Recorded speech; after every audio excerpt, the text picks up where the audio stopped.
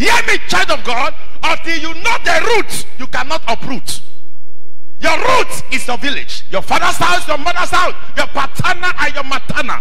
The power that are dragging you until your village release you, city will not accept you.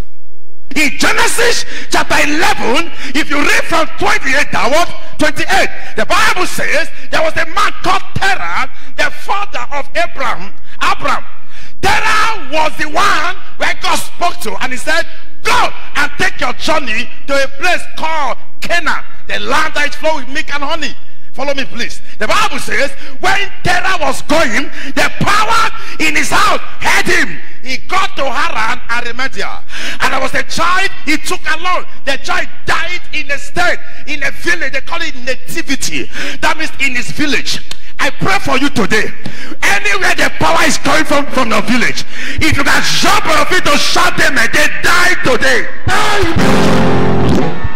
Sit down, sit down, sit down. That means the foundation. The Bible said, and he died in the nativity, in a state of nativity. If you read that place, that what?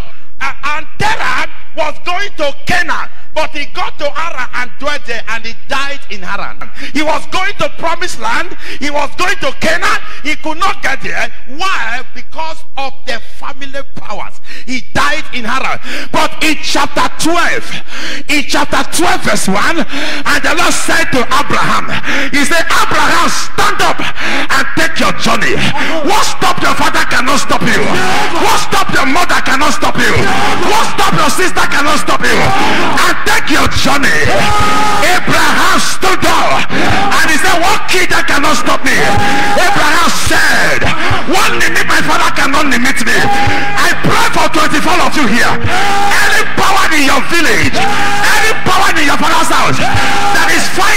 finances, that is fighting your marriage, that is fighting your destiny. Only one amen in your mouth. They shall die today. They shall die today. They shall die today. They shall die today. They shall die today. That shall fire.